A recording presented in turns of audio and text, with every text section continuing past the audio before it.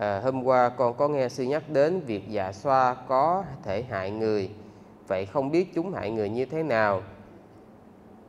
À, và các hàng có thể mượn xác thì chúng có thể thao túng điều khiển tâm lý và hành động của người khác được không?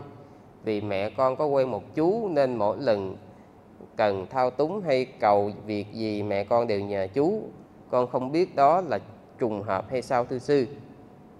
À, thưa quý vị á, là khi dạ xoa hại người thì mình không có biết tại đâu có ai còn sống về đâu mà biết hiểu không?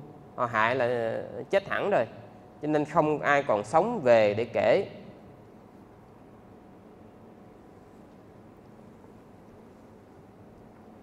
À, chỉ có à, ở trong kinh thì chỉ nói đơn giản là dạ xoa nó bắt thì nó ăn thịt đơn giản vậy thôi còn à, cái chuyện là có người có chúng sanh nhập á, có chúng sanh dựa thì à, nó lại thuộc về một hạng khác. À, đó là cái hạng à, mình gọi cái hạng càng thác bà. Nó thuộc về cái nó ừ, thuộc về chủng loại á, là chủng loại càng thác bà.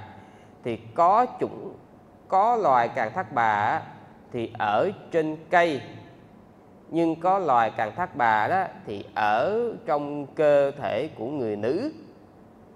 À, thì à, khi mà họ vào á, thì mình có thể à, giao tiếp giao lưu và nhờ vả này nọ kia. Thì cái đó là có.